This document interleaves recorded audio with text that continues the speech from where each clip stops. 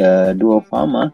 So one of the reason why we highlight the stock uh, because the stock ongoing uh, uptrend is pretty much intact, and the recent so-called corrective move was unable to break beyond um, uh, one ringgit 45 cent. Um, you can take a look over here how the stock keep testing the 200 day moving average and of course the uh, 61.8 Fibonacci level which is also the recent major resistance turning into a support zone uh, the uptrend that we draw since low 2022 last year uh, was pretty much intact and did not uh, violate any what we call that um, any level yet and it's not being revised. So because of that you can see the new higher low structure was uh, pretty much uh, quite supportive.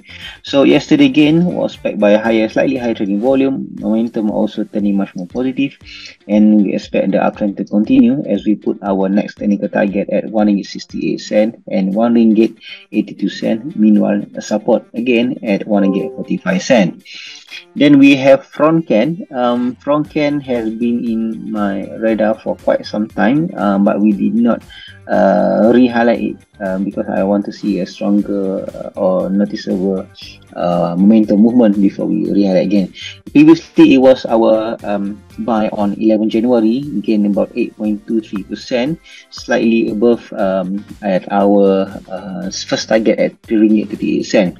The subsequent consolidation saw the stock is actually building a new baseline right above the 38.2 Fibonacci level, and of course the the major resistance turn into the support level at right 2 ringgit 92 cent. So um, yesterday gap up um, on the back of high trading volume momentum improving.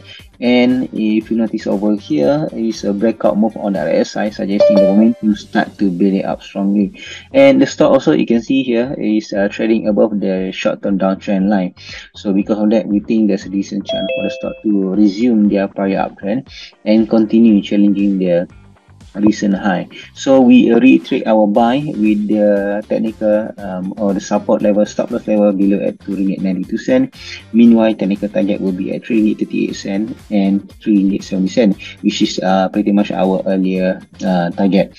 And last but not least will be inari. Inari uh, despite trading in the downward mode um, you can see the downtrend still pretty much ongoing but um, it appears that stock have found a support right within 2 ringgit 30 cent uh, region and there is an interesting movement over here whereas the stock price uh, forming a so-called new lower structure but the RSI or momentum in general creating a new higher low structure. So that means there is a, a bullish divergence so the bullish divergence um, was pretty much um, validated following yesterday gain on the back of the stock closing above the 20 day moving average over here.